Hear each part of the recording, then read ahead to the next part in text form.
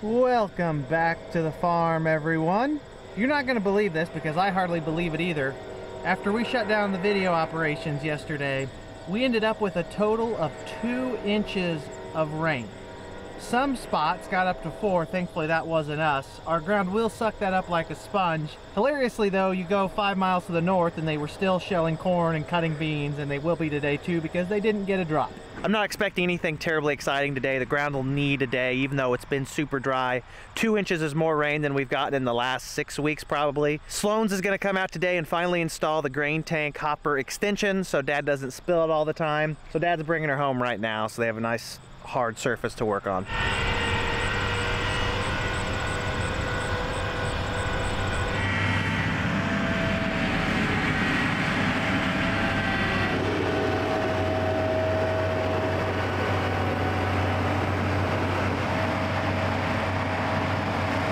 Based on the mud on the X9 that just appeared this morning leaving the field, I don't think we have any beans that'll cut. We also don't have any corn that's close. We just haven't calibrated this 12 row corn head on the X9, so that's what we're gonna work on.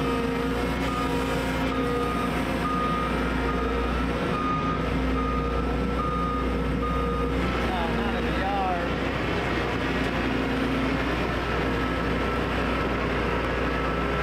It's a good thing we hooked this up this morning because we immediately noticed a major problem. This will not fit into that coupler there. The holes don't line up correctly, so I don't think it's gonna work. We stopped by the John Deere dealership to get some answers. I think we might have to change the pin, hopefully not the whole harness there on the cornhead side. Look where dad turned around out there trying to get the combine out. We thought it'd be drier from that rain, and we also weren't expecting two inches or this stuff would not have been left in the field. Give it an hour or two, it'll be dry again. Amazing. Never mind, we're not always the smartest. There's an extra plug just bolted onto the side there. And after going to the dealership, talking to the parts guy, talking to the service manager, we came back and just looked at the head and there is in fact a plug just sitting on there ready to swap out with the one in the multi-point coupler. Now pull this stuff and hold on to it now. Well, which one do we want longer? This one? Hmm, I just accidentally let go of it.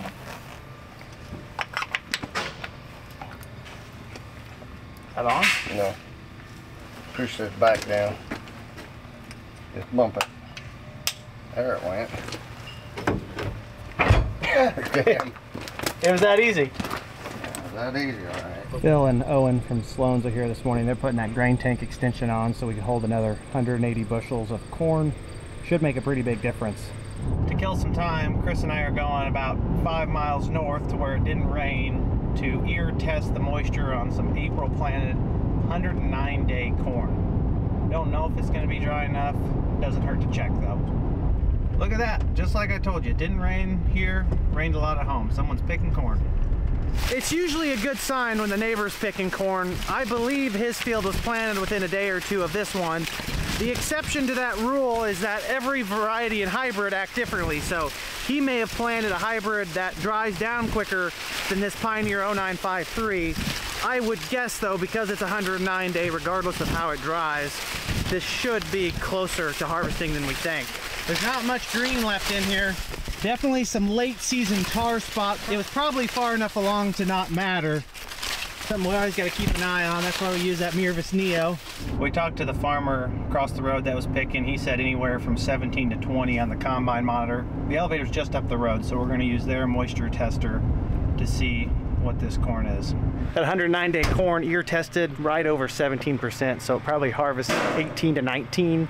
That'd give us the green light to go ahead and pick that, I think, take it to commercial storage after they get the grain tank extension on. I don't know how long that'll take.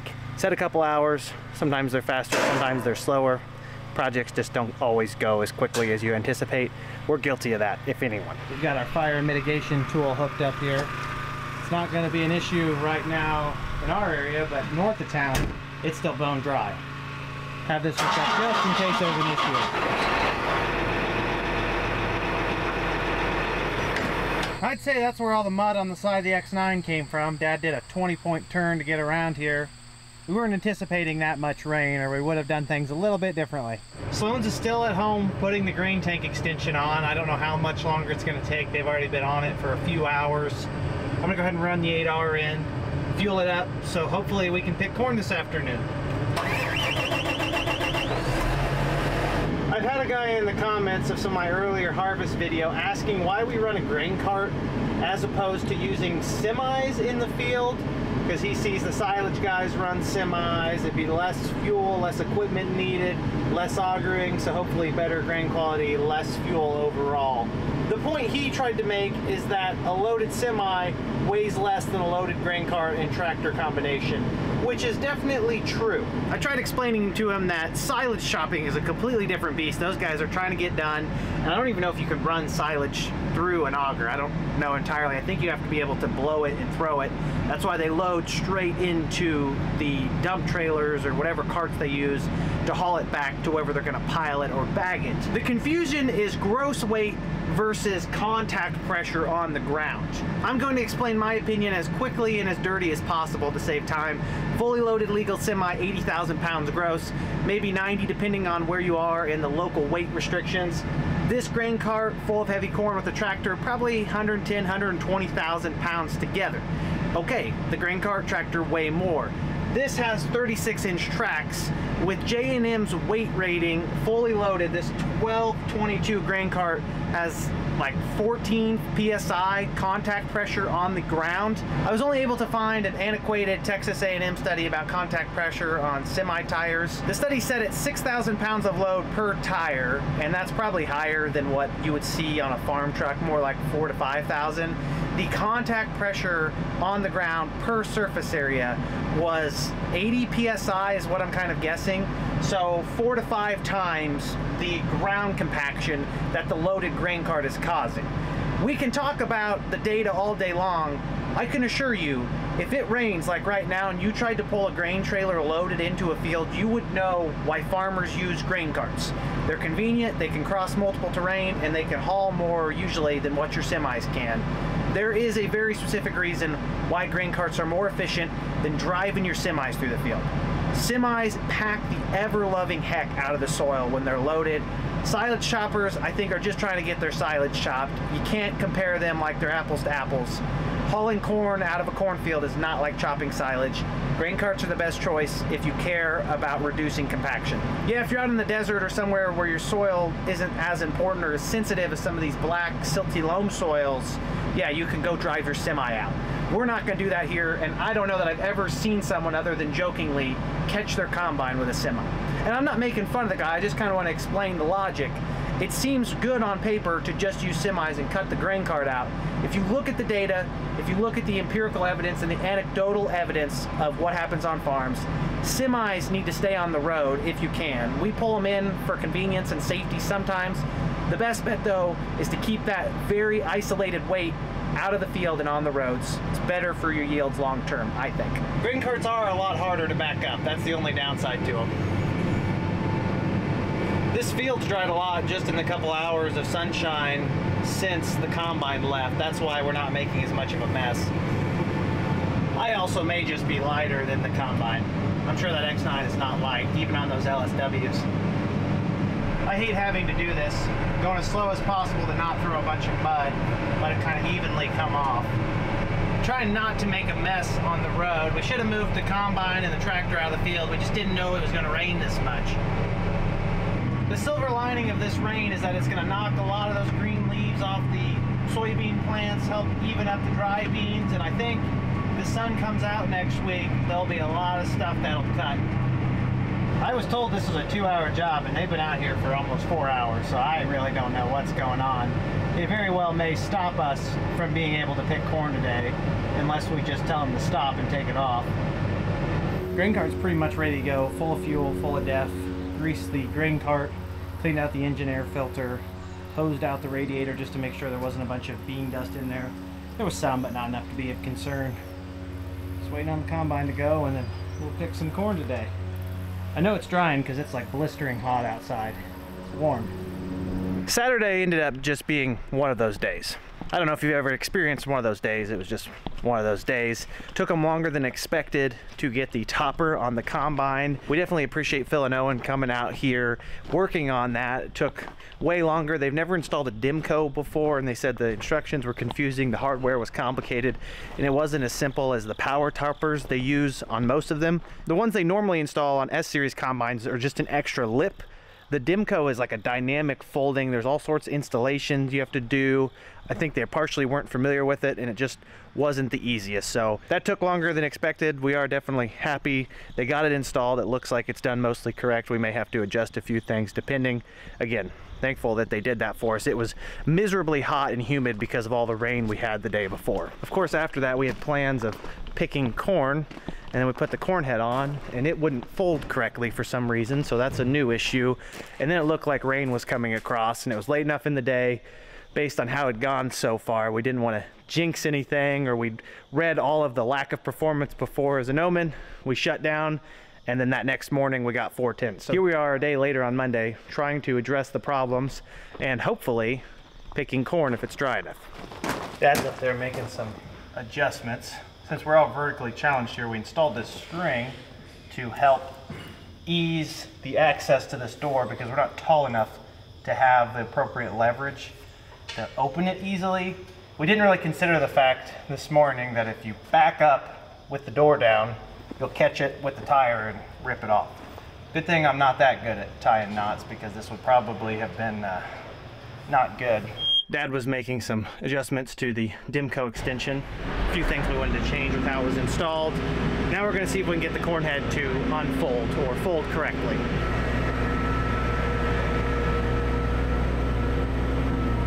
When I ran the calibrations yesterday, it would fold and unfold fine. When I did it with the automatic system, it's doing exactly what it's doing now. It's just kind of jumping back and forth. By jumping back and forth, like right now, it's doing nothing. The one workaround I found for this so far, and it's not something you want to have to use, is going into calibrations, coming down to header, corn head wing position calibration, begin, next, once combine in field mode, engine high idle, and then it's going to recalibrate. Look how easily it does it that way. Everything's automatic, I just hold the button here and it'll unfold. There's no manual workaround to unfolding these corn heads. You have to do it through the machine automated system or you have to use the calibration page. It's not really an effective way to do it. Look how easy it does it when it's on the calibration page. Yet the automated thing doesn't work. That makes no sense. The snouts on the pivot are struggling to pop up. I don't even understand. We've unhooked it, cycled the battery, cleaned the connectors, folds just fine manually through the calibration page. It does look like it's going to let us pick using the manual calibration workaround. That's probably what we're going to have to do. We're trying the software update. That's what Ron said to do. Maybe that'll fix it. It said it's probably a software issue if it's folding in the calibration mode but not on the automatic mode. The software update did not fix the folding issue. We ran and talked to our John Deere dealership. They're going to send a tech out, maybe push some more official updates that I guess we can't do on our own through the combine to maybe fix that. And then if not, they'll look at actual hardware issues on the combine to see if there's something with the fitment that's not working. The bad news is that a rain is moving in. We didn't think it was going to rain till 6 o'clock, and it's raining at 9 o'clock right now. So, don't know if we're going to be able to pick corn. Put her back inside for now so it doesn't get all stinky. It may be too late by the looks of those beans. Once they swell up with moisture, you know they are going to get a scent to them. Yeah, I'd say that we may not pick any corn today. Unless it just fizzles out. It'll give us some time to catch up on maintenance. Katie had that hydraulic oil leak in the valve body because of the O-ring, and we told them that we would put the hydraulic oil in ourselves to replace the shortage. No reason paying a technician hundred some dollars an hour when we can do the same thing for like ten dollars an hour. At least that's what I get paid. Oh crap! Probably not gonna be enough.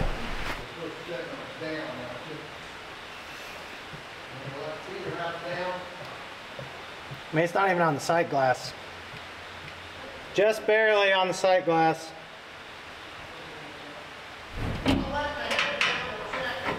Well, don't start until I take the funnel out. Plenty of engine oil. Let me put the cap on.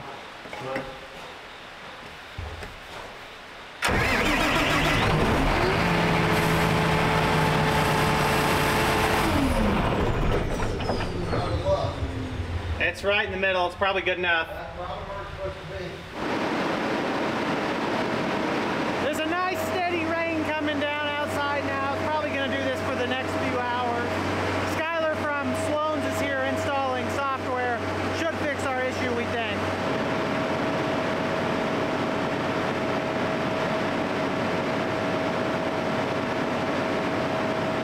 It took a little while to get the software to the laptop to the combine, but once Skylar got it onto the combine, there was like 10 different sets of updates that had to be pushed through from Deere through their system and worked immediately. So maybe there's a reason why John Deere employs more software engineers now than mechanical engineers because software is pretty important. If I understood correctly, those updates do not come over unless they're sent over from the dealership or a service tech puts them on. They're not ones that we can say yes to without them getting sent manually by someone in the first place. I don't understand why some updates come over automatically and we have to say yes or no, and others that are obviously important to working, like folding your folding corn head, don't come on their own. Fast forwarding to the next day, it ended up raining on and off all day yesterday. At home, we had eight tenths. North of town, where I'm standing right now, they only had a tenth or two. Sprinkling in today. Ground conditions are probably dry enough to pick corn in some fields, yet the dampness that continues to come down limits your ability to feed corn through the machine without making a mess, having a lot of head shell, and just not perfect conditions to harvest. So until the rains clear, we aren't going to be able to pick any corn. We definitely can't cut any beans because they're way too wet to run. I'm here north of town ear testing some corn. We've got some Pioneer 110 47 Chrome, I believe is the number. And then next to it, we've got Beck 6585 and 6469. I'm going to run the 6585 and the Pioneer 11047 Chrome to the elevator so they don't have anything better to do to see what their moisture is at. This was planted 10th of May, let's say. I haven't looked at my spreadsheet, so I doubt it's dry enough, but it's better than doing nothing. Keep an eye on our corn progress. The rain definitely may have added a point or two, so I doubt it's even close. There's actually somewhat of a chance we could pick today if it didn't just rain again. I think our chances are slim. Maybe tomorrow there's a possibility.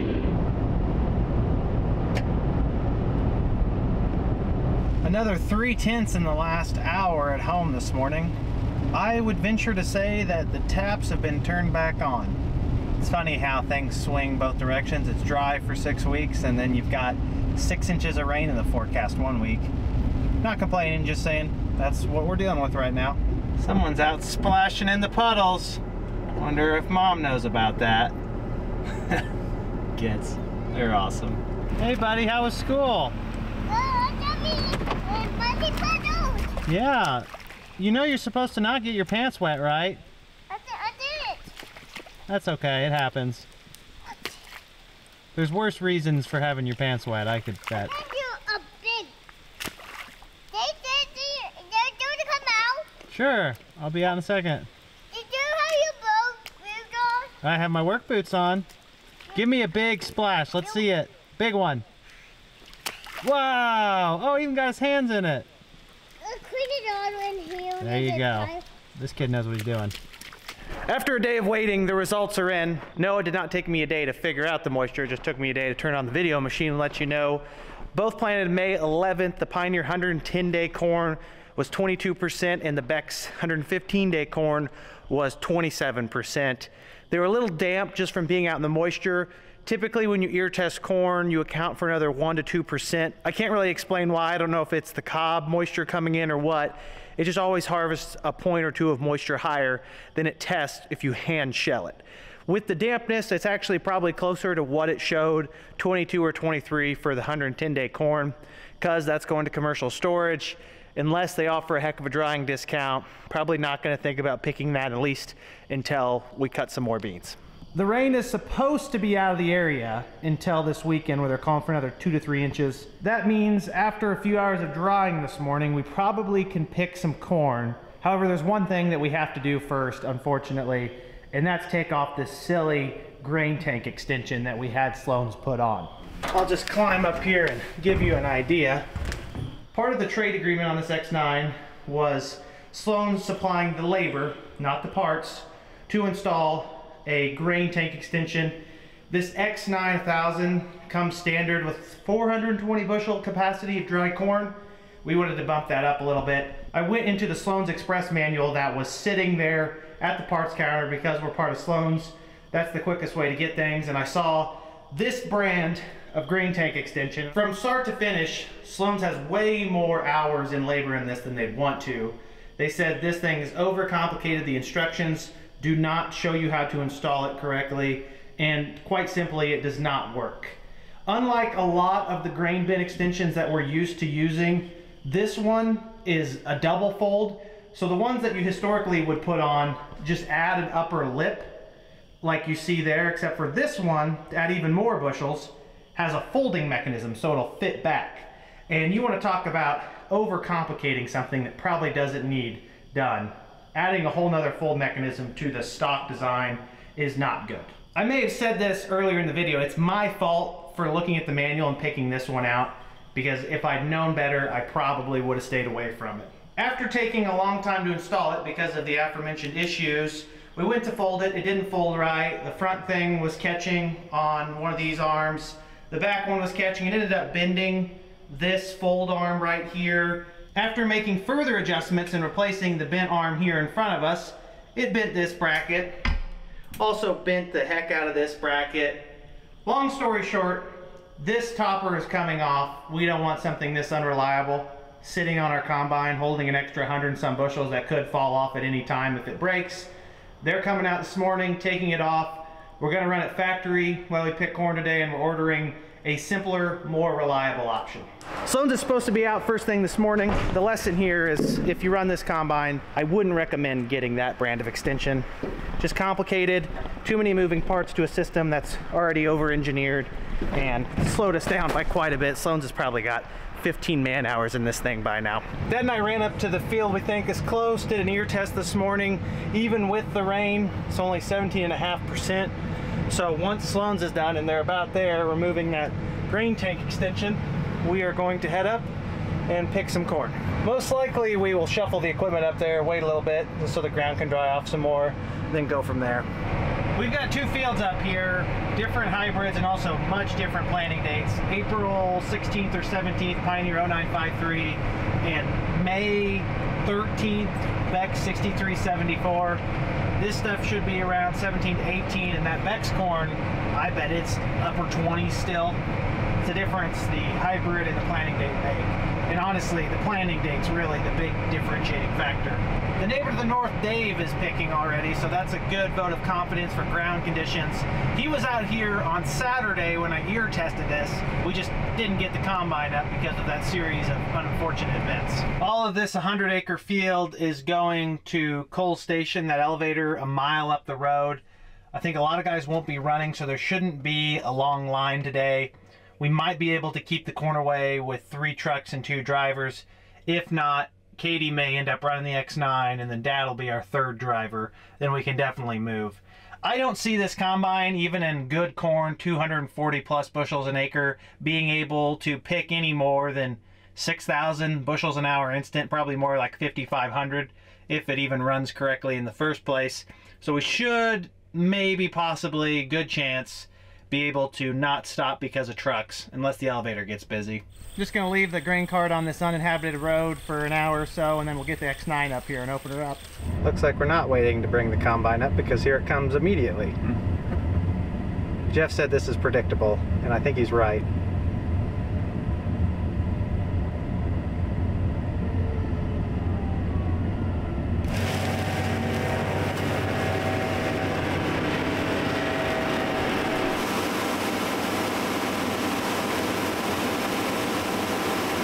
I told him he may need to run the cornhead lower to actually stomp the stalks down, or those LSWs aren't going to last very long.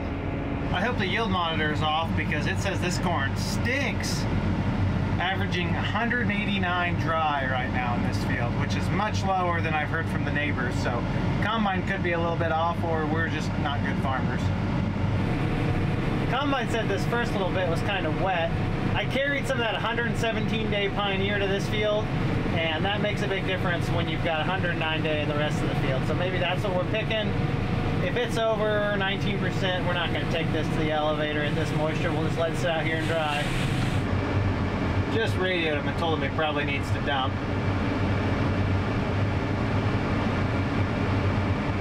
Think he's got any on the cab? Yes, he does. That's kind of why I radioed you, Dad. Dad's getting out to make sure he's getting all the corn. He's probably disappointed by the yield monitor, so he doesn't want anything to be slipping by and us miss a bunch on the ground. Picking corn's pretty easy, so as long as the combine's shut up, you've got the settings halfway right, you shouldn't be throwing much out.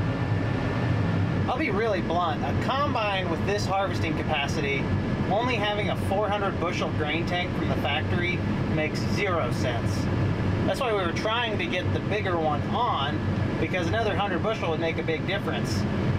This gets full fast, and it's not always a good thing. It's like having an 8 row on the 780. 12 rows is a 6 mile an hour job for the X9, at least. Can you even see out of that thing? Negatory. The problem with farming a field like this, short ways, having most of your rows the short way across the field, is it gives you a ton of end rows. Dad always says to farm against the way the water flows, but it doesn't necessarily make sense logistically because we'll have 20 acres off of this field before we're done. I Don't know what he's doing with the bag. I don't know if he needs to use the bathroom or what. It's probably too early in harvest season to be needing a brown bag for using the bathroom.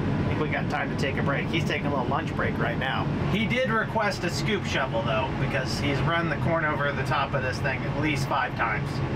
I think he's only had five full hoppers, so he's hitting 100% right now for overfilling. Once the grain tank full comes on on this combine, you might as well stop picking because it picks so much corn. There's no time or extra room. It's going to be overflowing it next to no time at all. This combine was making all sorts of dust up front. It has an integrated dust fan on the feeder house, and then Dad realized the fan wasn't working because someone had shut it off. I don't know who. Could have been me, could have been him. Finally got that turned on, and then he went in and shoveled everything off because there was a lot of stuff piled up there.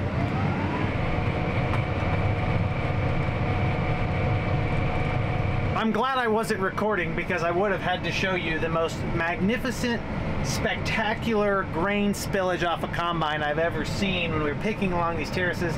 Dad turned the corner, turned around and went back the other way. He was fairly full. You need to get under this combine quick. Once it looks like it's about full, there's very little time, as I mentioned a second ago, before it is going to start running over. You need to be dumping. So he didn't put his auger out. I had to grab a bunch of gears to catch up with him, and we were on the side of a terrace, which makes it a little sketchy. I'm normally pretty reliable about getting to the right speed when I come through, but I think I just shifted down too aggressively and went two gears or three gears too far and he started dumping at five and a half miles an hour and I proceeded to slow way down. So he was about to start dumping over the front of the cart jammed his hydrostat back to slow down and I bet you 50 bushel ran off the top of the cart. It was honestly really impressive. It's good I didn't catch it on video because I would have had to have shown you all and it would have made us look really bad because it was it was incredible. Not in a good way either. I mean I've never seen so much corn run off a combine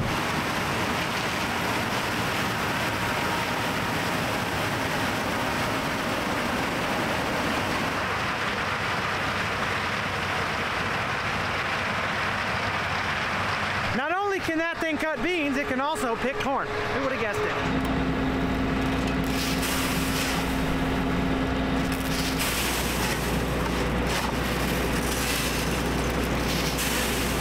Hybrids and varieties change, combines change, everything seems to change, but one thing remains the same. You still get the corn on the cab if you're not paying attention. They need to find a way to funnel it all back down into the rotor.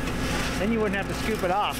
Dad is inspecting something in the grain tank. I don't know what. Some on the fountain auger. It's not OSHA approved to do this while someone's in the tank. The trucks are just keeping up. Keep in mind, we're not going very far, so as long as there's not a line, they don't really have a problem. I've only had to load the third truck maybe once, and Dad and I have stopped a few times to do various small projects, like clean off the roof of his combine. Nate, what have these loads been testing? Uh, 17.7 on moisture, test weight 5018. All right, copy that. I think most of them have probed 17 to 18% moisture.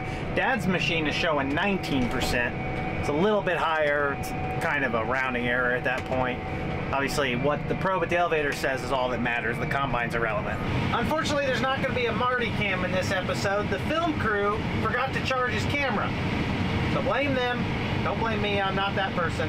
I think that's holding the combine back a little bit. There's no reason to get too ambitious. We're dumping on the go at five and a half miles an hour. He's running over six when he's picking.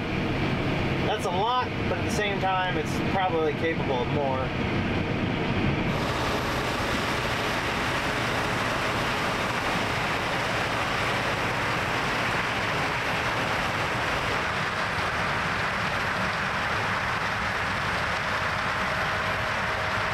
It's an absolutely beautiful evening here. Elevators open till 7.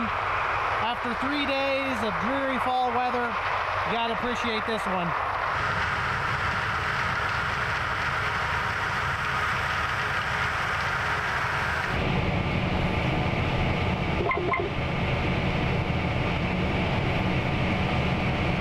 Beautiful time of day. I love this. It sounds like this corn's mostly 18%. Not bad. Jeff's headed up to the elevator, closes in 12 minutes. I'd like to load the next truck, but Dad's screwing around picking point rows, and he should be here finishing up this so we can actually get a truck out. All right, he's the boss. He wants to be slow, that's just the way it will be. Oh, now we're in a hurry, boss man. We get on the north end, Andy. Uh, dump that on Nate and let him take a half a load. Either he's been holding the combine back or he's just throwing a bunch out the rear end right now because we're running six mile an hour. I would guess he's not been pushing it all day. Hopefully they like us enough to not send that load home because it's going to get there after close. That's why I was upset that Dad wasn't picking areas where there was more to be harvested in a timely manner so we didn't have to cut it so close on this load. That'll wrap it up for us. Last partial through of the field. A row of shame, if you will. It's inevitable eventually. The fields are not always going to be perfectly spaced on 60 foot segments to match your planter. As far as I know, the other truck is empty. I just offloaded the last of the corn from this field. As you can see right here, it made 239 wet bushels per acre. Based on talking to Jeff, nothing was over 18%. We'll use 18% as our wet moisture. 1.4% of shrink per point, which is 0.958 times 239. That makes our dry yield 228 bushels per acre. Respectable, few bushels worse than we had out here two years ago, but probably in line for expectations on this farm. We're gonna go ahead and leave the grain cart up here tonight. Dad's gonna take the big combine home just to get it at the fuel tank so we have something to do in the morning. And then we're gonna see what tomorrow brings. Before I go, I want to see if the yield map showed anything enlightening. It's not fully loaded over here. We need to do some kind of adjusting to get rid of these gaps because those shouldn't be there. Good yields across here. I think the green is 240 to 250. Down by the waterway where we did all that dirt work, the bulldozer went through, probably compaction. Overall, decent yield. Don't really see anything that stands out to me as a no-brainer right or wrong decision. These ends are pretty poor. That's got to be water damage or compaction. Your ends are usually worse than the rest of the field. I'm walking back to the truck to help shuffle things around. My preliminary opinion of the X9 in corn is that it is good at picking corn, which should be expected. So far, and we've only done one field with short rows, it's actually easier to keep the one big machine running than the two medium and smaller machines running that I'm used to on some fields because I only have to go one place. I don't have to go two places and deal with two different combine operators. So there is an advantage to that. We had the trucks to keep it away for the most part. I think if dad would have pushed the stick anymore, it wouldn't have been quite the case. We would have caught the trucks eventually. Basically, if the corn was any better or if the combine pushed any harder than it did, trucking would be an issue and we may see that on some farms just not here. This is a convenient farm to harvest and take to the elevator. Regardless there'll be more adventures in the next day the next video. Hope to see you all there. I'm taking off for the night. Have a good one. Peace